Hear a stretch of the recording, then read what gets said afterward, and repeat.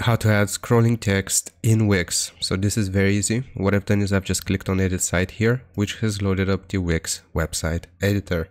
Now we want to go to this website. I'll leave it as a pin comment here called marquee generator. And this basically generates code for scrolling text and we can customize this very easily. Now the first thing that I suggest doing here is actually reducing the scroll speed because as you can see it's a little bit too fast. But if we drag the slider here, it will become slower. We can also choose the direction for the scrolling text. As you can see, I will do it left to right by clicking on the second option. And we can also change the text color as well.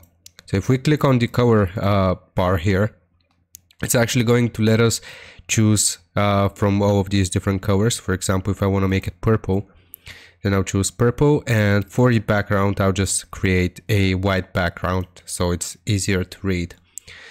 Uh, what else can we do? We can also change the padding and the margins as well as the text itself here. So I will write new sale minus 20% like this. So this is basically where you customize the text and we can also change the font if we want to as well as the font size. So I want I want it to look like this. We can also make it bold, italic, so on and so forth. And we can also add an image. But basically, after we're done with uh, customizing our text here, we are going to copy this entire code. So left click to highlight it, right click and copy.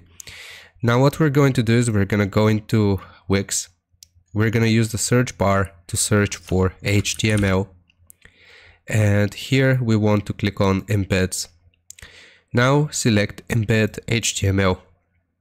Here, what we have to do is simply right click and paste our code and then click on update.